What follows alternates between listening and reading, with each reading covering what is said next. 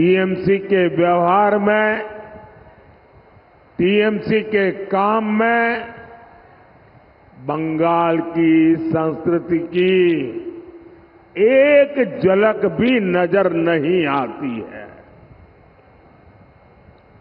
भाई और बहनों, वोट बैंक को खुश करने के लिए ये किसी भी हद तक जा सकते हैं।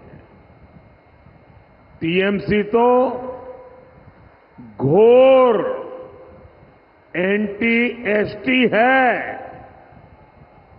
घोर महिला विरोधी है।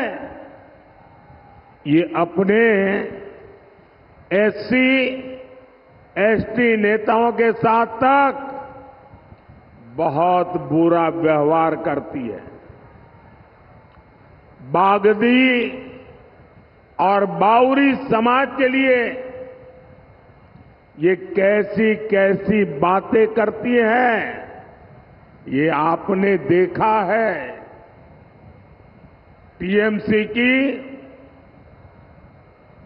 मूल पार्टी कांग्रेस ने धर्म के आधार पर देश के टुकड़े किए।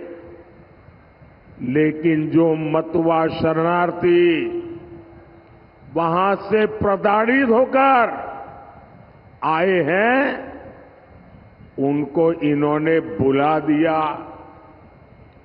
जब मोदी सरकार, सीएए जैसा बहुत ही महत्वपूर्ण कानून लेकर आई, नागरिकता देने वाला कानून लेकर आई नागरिकता देने की गारंटी लेकर आई। ये लोग डराने, धमकाने में जुटे हैं, अफवाहें फैलाने में जुटे हैं, झूठ बोलते जा रहे हैं। मैं सभी शरणार्थी साथियों से कहूँगा कि सीएए ये संविधान की गारंटी है। ये मोदी की गारंटी है।